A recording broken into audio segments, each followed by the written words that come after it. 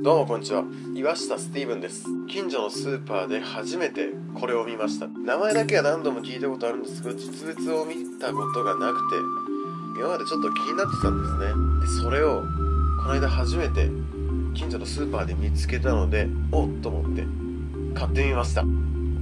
じゃん。ドクターペッパーです。これ飲むの完全に初めてなんですよ。でそこのスーパーのポップになんか3回飲めば癖になるって書いてあったんですよね。3回飲めば癖になるってことはちょっと1回目は癖がありすぎてきついってことですかねこれ。ドクターはお医者さんでペッパーが胡椒胡椒とか辛いとかなんかそんな意味でしたよね確か。辛いお医者さんお医者さん辛い。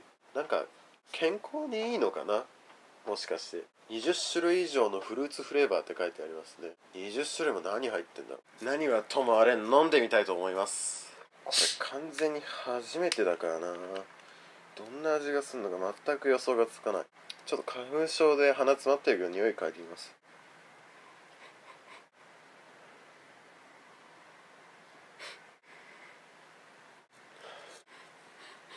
あなんだろうなんか嗅いだことあるぞこの匂い。鼻詰まっててよくわかんないけどなんかあああれだ。子供用の風邪薬のシロップと同じ匂いがする。風邪薬のシロップと同じ匂いがします。やっぱ体にいいのかな。それでは飲んでみます。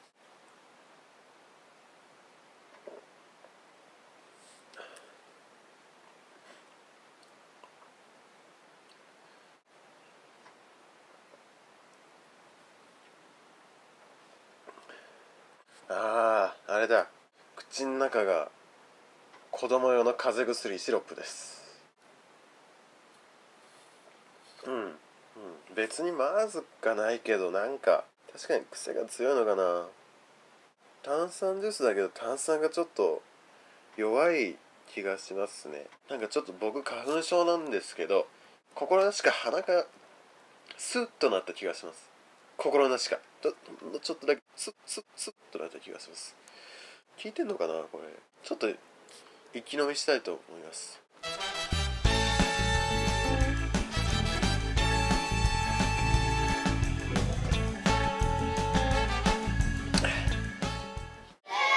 減ってない。こんな感じか。とまあまた続きはじっくり飲もうかな。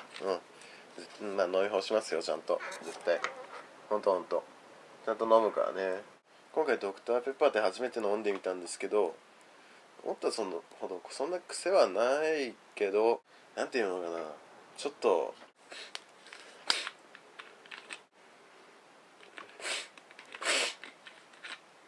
とりあえずお店のポップに書いてある通りこれ3回飲めばもしかしたら癖になって好きになるかもしれないんでちょちょっとまあ気が向いたらあと2本買ってみようと思います。癖になるのかなこれ。というわけで今回はドクターペッパーを初めて飲んでみたということでした。それじゃあまた。